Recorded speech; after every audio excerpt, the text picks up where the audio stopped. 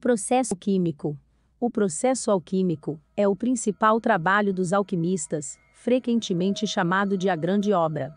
Trata-se da manipulação dos metais e da fabricação da pedra filosofal.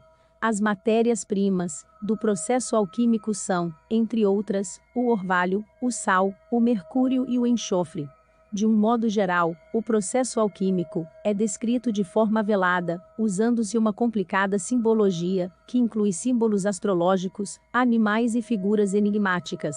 O orvalho é utilizado para umedecer ou banhar a matéria-prima. O sal é o dissolvente universal. Os outros dois elementos, mercúrio e enxofre, são as principais matérias-primas da alquimia. O enxofre é o princípio fixo, ativo, masculino, que representa as propriedades de combustão e corrosão dos metais. O mercúrio é o princípio volátil, passivo, feminino, inerte. Ambos, combinados, formam o que os alquimistas descrevem como coito do rei e da rainha. O sal, também conhecido por arsênico, é o meio de ligação entre o mercúrio e o enxofre, muitas vezes associado à energia vital que une corpo e alma. A linguagem dos textos alquímicos, com frequência faz uso de imagens sexuais.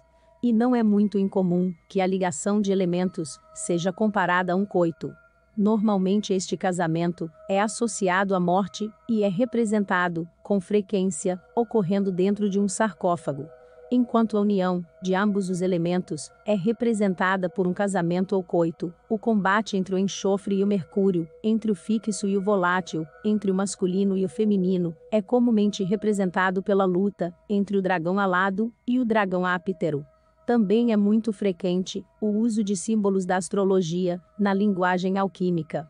Associam-se os planetas da astrologia com os elementos da seguinte forma: o Sol com o ouro, a Lua, com a prata, Mercúrio, com Mercúrio, Vênus, com o cobre, Marte, com o ferro, Júpiter, com estanho, Saturno, com chumbo. Os alquimistas acreditavam que o mundo material é composto por matéria-prima, sob várias formas. As primeiras dessas formas eram os quatro elementos: água, fogo, terra e ar, divididos em duas qualidades úmido, que trabalhava principalmente com orvalho, seco, frio ou quente. As qualidades dos elementos e suas eminentes proporções determinavam a forma de um objeto, por isso, os alquimistas acreditavam ser possível a transmutação, transformar uma forma ou matéria em outra, alterando as proporções dos elementos, através dos processos de destilação, combustão, aquecimento e evaporação. Os alquimistas também associavam animais com os elementos, por exemplo, normalmente, o unicórnio, ou o veado, é usado para representar o elemento terra, o peixe para representar a água, pássaros para o ar e a salamandra o fogo. Também haviam símbolos para outras substâncias, por exemplo, o sal é normalmente representado por um leão verde. O corvo simboliza a fase de putrefação do processo alquímico, que assume uma cor negra enquanto que um tonel de vinho representa a fermentação, fase muito frequentemente citada pelos alquimistas no processo alquímico. Segundo os alquimistas, a matéria passaria por quatro estágios principais, que por vezes também têm significado espiritual. Migredo, ou operação negra, é o estágio em que a matéria é dissolvida e putrefata, associada ao calor e ao fogo. Albedo, ou operação branca, é o estágio em que a substância é purificada ou associada à ablução, com a quai vitae, a luz da lua, feminina e a prata. Citrinitas, ou operação amarela, é o estágio em que se opera a transmutação dos metais, da prata em ouro, ou da luz da lua, passiva, em luz solar, ativa.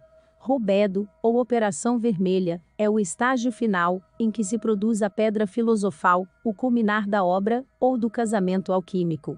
Os processos apresentam perigo real de explosão. Algumas composições resultam em reações violentas, que se aproximam da pólvora, queimaduras, temperatura próximas dos mil graus Celsius e quase sempre, acima dos 100 graus Celsius, ácidos e bases fortes, envenenamento ou gases, e toxicidade por metais mercúrio, antimônio, chumbo. Os perigos psicológicos são também reais, em consequência de trabalho excessivo, concentração prolongada, frustração repetida, falta de repouso, por vezes isolamento, estímulos à imaginação, etc.